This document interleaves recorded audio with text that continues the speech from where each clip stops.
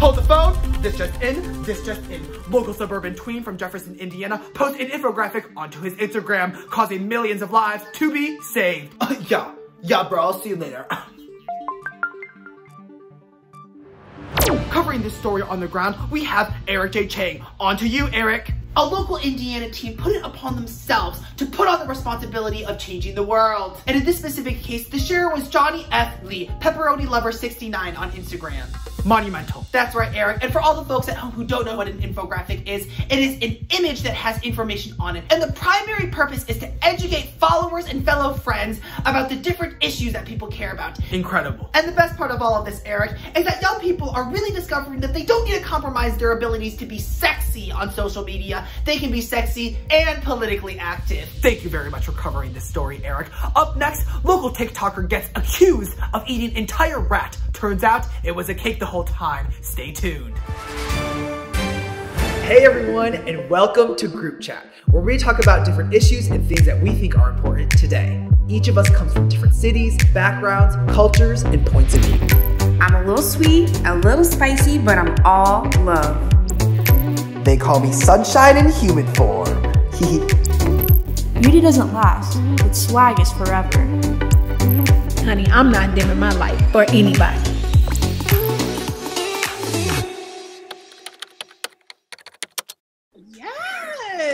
Go, Eric. okay, oh, stop. so the first thing that I wanted to talk about with you guys, social media activism. Many people have joined the trend of sharing infographics about various social issues. In a recent adolescent article, writer Cierra Bettens says infographics have become a popular way to disseminate information, but people show their support online but don't materially contribute to the cause on the front lines. So what do you guys think? Is social media posting really a form of activism or protest? You know, I always got something to say. I mean, you know, I appreciate that. I, I believe everybody should be an activist in some kind of way. So I appreciate, you know, the infographics. I think that they get information out quickly um, for people that don't know what's going on. The problem comes in where you do the infographic and then you do nothing else. Um, I'm glad you mentioned that article from Adolescent Content because I actually saw another article that talked about the percentage of people that were going so hard for Black Lives Matter and how the percentage has gone down since June or July because we ain't really talking about it no more, but in the black community, they absolutely are still talking about it. So I just think that some people was lying. They didn't really support it, they just jumped on a wave. So if your infographics are about jumping on a wave, then we got a problem. Well, I, I completely agree with what you said. I think performative activism is like a huge problem, but I also think that posting on social media can be activism to an extent. Sharing resources or like sharing petitions are kind of like on the milder side of the spectrum of activism, if that makes any sense. A lot of people may not have the means to be on the front lines. A lot of people wanted to participate, but were scared because of COVID, which I think is a really valid concern. I think we should just recognize each other's boundaries because there's no one right way to advocate as long as you're you're taking action in parallel to to the way you're speaking out. I was definitely uh, someone on the front lines. Like I did both the active uh, protesting and I did definitely social media activism as well. With the nature of COVID going on right now, everybody is at home, everybody's on their phone, everybody's on their laptop. So social media activism is at its all-time peak. In my opinion, I think it's more effective than uh, actively protesting because people get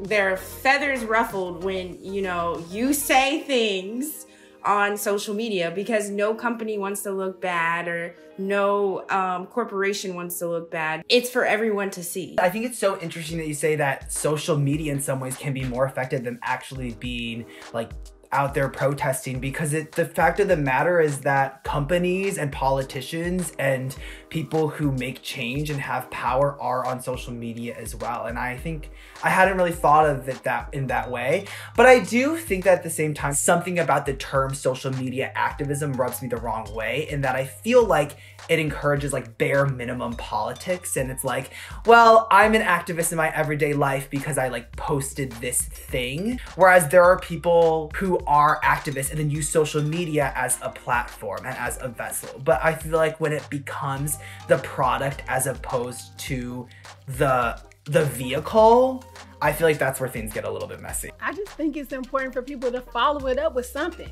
Informing people is the first step. The next step is deciding what else can be done. For activism, I just believe you use your gifts. What gifts do you have that you can contribute to the movement? And if you're using your gifts, then I ain't mad at you. Do you think that um, that people just post a post, or do you think that they actually have like the full details? Because with the media, sometimes we get what we see from one side and not the other. We have to know like what fight are we actually fighting. The way that companies like engage with their platforms right now, they leave it up to us users to determine like what's appropriate and what's not, like reporting posts. I kind of like that. At least for some topics, like I don't think that it's necessary for companies to get like as involved. We shouldn't depend on any one social media site for all of our information anyways, if that makes any sense.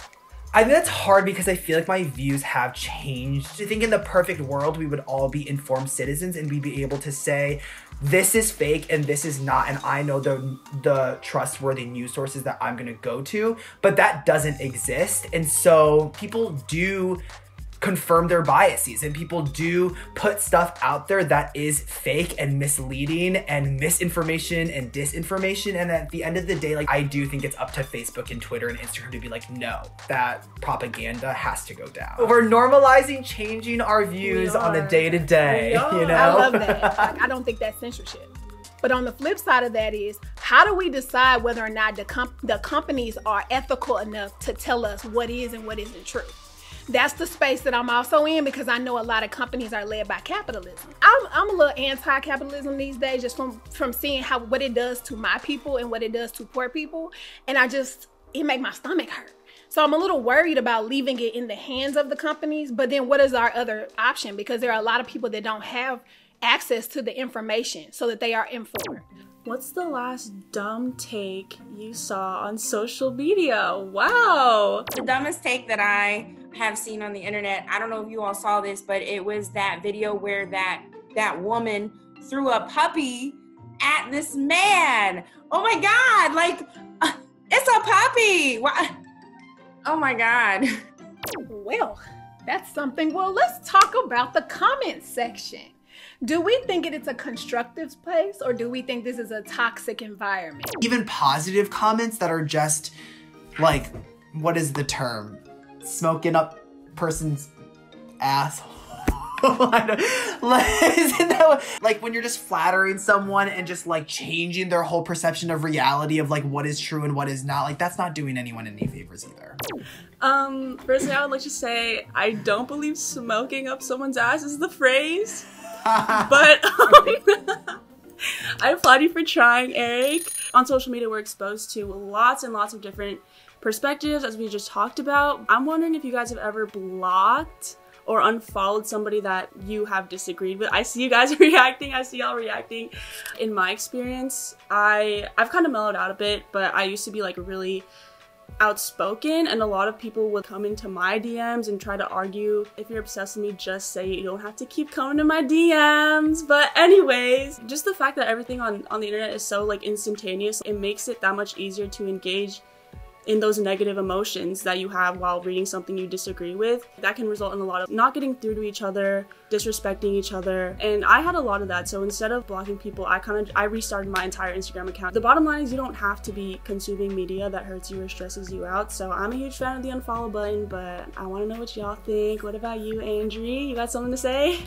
So one thing that I've really like learned to do is that mute.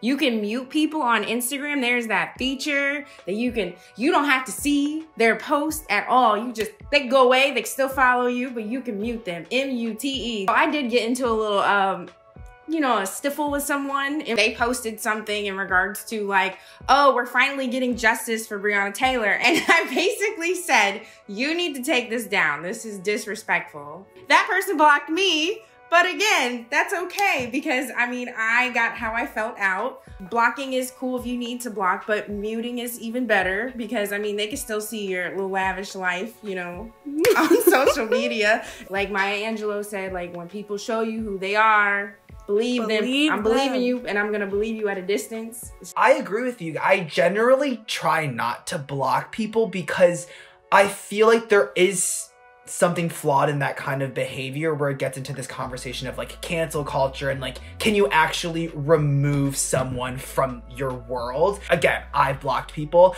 And i agree i think muting is different. Like i've muted some people who i agree with. There's a difference between the person and the social media account and sometimes they're just annoying. Like even if you agree with someone wholeheartedly social media is capitalism at heart. It's about growing a following, it's about getting more, and it doesn't end. And that leads people astray. believe in unblocking. I mean, I believe in blocking. Ah! Blocking, unblocking whenever I feel and whenever I please. Um, I also believe in muting. The mute ministry. I just think it's a powerful ministry to be a part of. You don't have to pay no dues. That part. You just show up. And I be muting people because what are you even talking about right now? So I can deal with it if you just have a different opinion. But when if your different opinion is that somebody else's life doesn't matter as much as yours, we ain't got nothing to talk No, about because I can't convince you. Your heart needs to change. And I'm gonna tell you right now, I don't have divine power to change your heart. I can't do that. So I'm gonna leave that up to the powers that be to change your heart. So I'm blocking, especially if you run around acting like COVID ain't going on. I'm blocking you. You gotta go. Cause I'm at home. Thanks for logging into the group chat. Until next time, TTYL.